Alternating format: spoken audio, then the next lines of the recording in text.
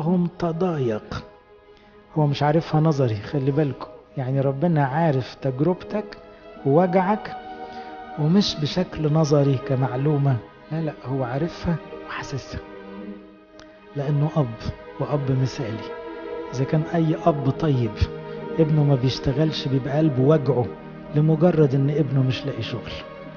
أو ابنه مثلا متضايق فتلاقي التاني قلبه وجعه لأن ابنه متضايق. كم وكم الأب السماوي المثالي. أبوكم يعلم ثقة للتجربة.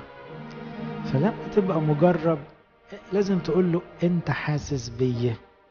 تأكد إنه بيطقطق رأسه كده ويقول له حاسس بيك يا حبيبي.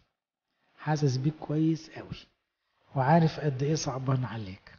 وياما بيصعب عليا زيك. وما تخافش أنا جنبك. وأنا الوحيد اللي هريحك تقول له قلبي وجعني قوي يقول لك حاسس بيك قوي وحاسس بوجعك وتلاقيه عمال يمسح دموعك ويطيب خاطرك وقاعد جنبك. بس اقفل على نفسك ادخل مخدعك واقفل على نفسك وسيبه يعمل شغله.